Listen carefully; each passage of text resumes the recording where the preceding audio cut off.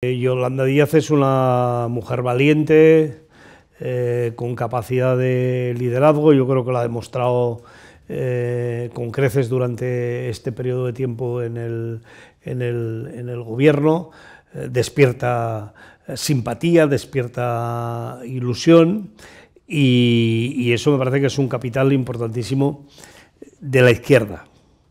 Desde luego de la izquierda eh, que representa Unidas Podemos, eh, eh, que representan todos esos eh, movimientos que en algunos casos están en Unidas Podemos y otro y en otros y en otros no.